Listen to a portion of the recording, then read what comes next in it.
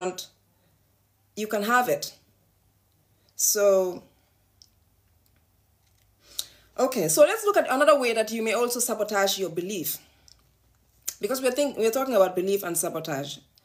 The way you also sabotage, you might also be sabotaging your belief is by looking at the past especially if you're if you if you're if you're a woman in your your in your 40s and you maybe you married before you were you were married before or you were in relationships before which you probably would be or maybe you dated a wealthy man before and maybe that you didn't have a good experience you know you don't bring that up. And i you know a couple of uh, not a couple more than a couple of women have that issue too. They bring up the past and say well you know uh, my husband was a wealthy man and i you know he was horrible to me. He treated me badly you know so um, I don't know if I if I if I start dating wealthy men, whether they're also gonna treat me badly.